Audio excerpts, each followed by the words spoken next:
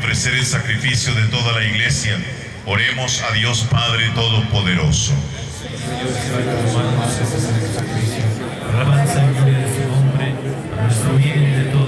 De de. Recibe, Señor, las ofrendas de tu pueblo, que celebra la obra de la inmensa caridad de Cristo, y confírmanos en el amor a ti y al prójimo, con el ejemplo de la gloriosa Virgen María, por Jesucristo nuestro Señor. Amén.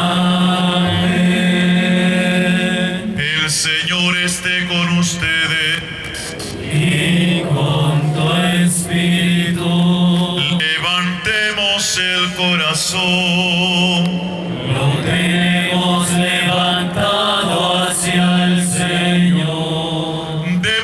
gracias al Señor nuestro.